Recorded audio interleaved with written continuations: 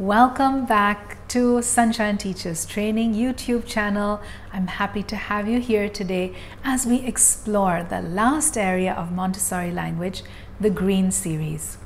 In the past weeks, we have covered the Pink series, the Blue series, and Early Grammar.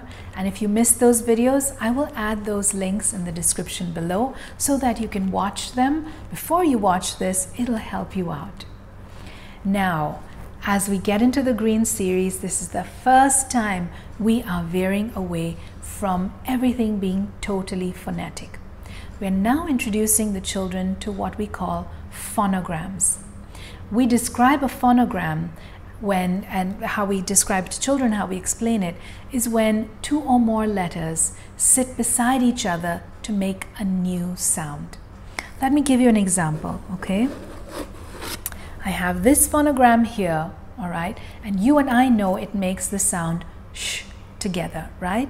But for a child who's just come to the pink series and they are totally focused on phonics, they look at this and they read it as s. It doesn't make the sound that we know, so they cannot read a word. So what we do is we break down the phonic, the phonograms, and we introduce it to them one at a time. This is one of the first ones we start with because it's very common and it's one of the easier ones. So we teach them the sandpaper letter, they trace it, and we tell them that when you see these two letters sitting beside each other in a word, they will always make the sound sh. And then the next step would be to introduce them to the corresponding box. So here I have the phonogram box for SH Let's look and see what's inside. Again, when we introduce this to the child, we point out these letters and we tell them, when you see these letters sitting beside each other in a word, they make the sound sh. Let's see what we have here. Okay, the kinds of pictures we have are shop, we have a sash, we have fish, we have shed, we have brush, we have shelf, and we have dish, and finally shell. Now what I want you to take note of is everything before or after the phonogram is still completely phonetic. So that means I cannot have a word like shore, okay? S H O R E because that becomes another phonogram completely. When we teach, we only focus on one phonogram. I cannot have the word show, show me your fingers, because OW is non-phonetic. We know that from the past things we've learned. That becomes another phonogram on its own. So keep in mind we cannot combine two phonograms or three phonograms in a word. You cannot have the word sheep because we have two phonograms there. One is SH and the other phonogram is EE. All right. When EE sit together in a word, it may in a word it makes the sound E. All right. So only one phonogram at a time. So be very very careful when you are making this material. Now we have a ton of phonogram boxes. It's impossible for me to list down each of the phonograms for you, but there are many, many that we have. I just want to take you through a few so you get an idea, okay? We have AI. And AI, when these two letters sit together, they make the sound A, such as uh, hair or um, fair, things like that, okay? We have the phonogram OO. When these two sit together in a word, they make the sound oo.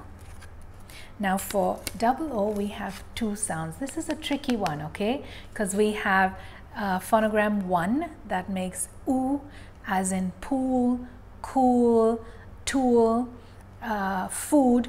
And then we have the shorter sound that comes in cook and book and good. So when you are making material, you cannot make combine these two. You cannot mix the two up. I have two boxes here for the double O phonogram. Let's see what's inside each so you can know the difference. Okay, I have 001. It's got a 1 beside it. Okay. And the kind of words that we have in here are cook and crook. Okay. And we've got book and we have hood. So those, that's the shorter, we call it the shorter O sound, O sound. And then in the second box, all right, and it's written here 2, double O, 2, we've got words like moon and hoop and zoo and stool and spoon. Okay, so I hope this is giving you a clearer idea. It is challenging, it really is difficult, but practice makes perfect. So let's look at some other phonograms that we have. We've also got, oops, I'm upside down, sorry. OA as in boat, goat, toad. We've got UE as in glue. We've got IE as in peace, uh, words like that. We've got that one we did. Let's look at some more. Okay, we've got er as in her, jerk, um, AU as in hall, mall. We have AR as in car, park, bark. OU, OU as in group, okay? And we've got EE as in sleep, meet. We have OR as in fork, um, sport, words like that. Okay. CH, you know, makes the ch sound, so chat, chimp, uh, chip. TH, thin, this, that, thumb, Qu as in quack, quit. Oy, oi, boy, toy, alloy, and sh of course we covered. Now there are so many more phonograms. Um, we introduce them to the children in different ways with the word lists. Like i said it's not possible to list all but these are the more common ones that children would come across in reading books during preschool so let's look at the sequence of materials that we use to present the Green Series phonograms to the children. We choose a phonogram, first of all, that we feel uh, is you know, uh, relatable to the children.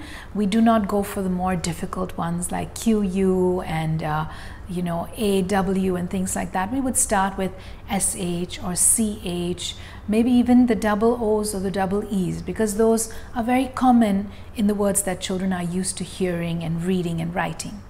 So we pick that, and the first thing we do is the phonogram box that I showed you and matching it to the word tags. They identify the picture and they match it. Then we have a material called the small movable alphabet and the children use this to build words. They make the phonogram in red and they build the rest of the word in black. It works just like previous activities we've done. They're quite used to it, so it comes quite easy. From there, we would then go into word lists. Now, we have one word list for every phonogram or a couple of uh, word lists for each phonogram. We do not mix the phonograms. Each list is dedicated to one phonogram. So if you look at this, it's all CH. Everything here is CH. And the words, like I told you, everything before the phonogram, everything after the phonogram is phonetic. It's a good idea to make your material with the phonogram in red because it really pops out and stands out to the children. Immediately they notice it and they say, okay, this makes ch. So I know it's ch, ik, chick. All right?